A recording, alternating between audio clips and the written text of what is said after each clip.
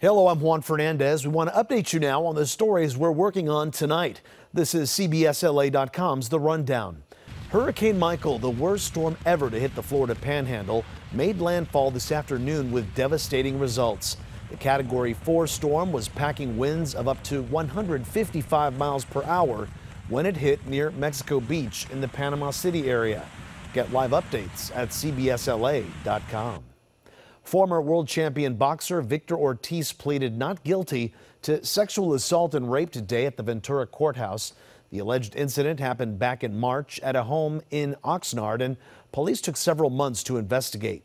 A nationally televised fight scheduled for late last month was called off after Ortiz was charged. Police are searching for a 91 year old woman who disappeared in Jefferson Park nearly two weeks ago now. Rosa Emma Villarias was last seen September 27th in her neighborhood near Jefferson and Western. She told her daughter she was going for a walk along 35th Place. The LAPD wants anyone who has seen her to call them.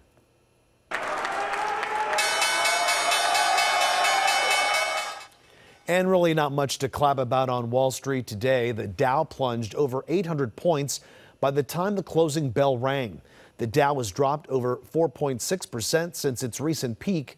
Investors are concerned about several big tech stocks, a potential bankruptcy for Sears, and the threat of rising interest rates. Now here's meteorologist Evelyn Taft with a look at weather. 73 degrees earlier today in downtown, so we were below average and we'll continue to stay below average for now as we get a look at my seven day forecast for the beaches, basin and the valleys. 60s, 70s expected a big spike in temperatures Friday and then a chance of showers heading our way Saturday with windy conditions, especially in the higher elevations. As we head into Sunday, you'll see that as we check in with our seven day for the IE high desert and the mountains. Have a great day. Thanks, Evelyn. And join us on CBS 2 News at 5, 6, and 11 for the latest on your weather forecast and all your top stories. This has been CBSLA.com's The Rundown. For Evelyn Taft, I'm Juan Fernandez. Have a great night.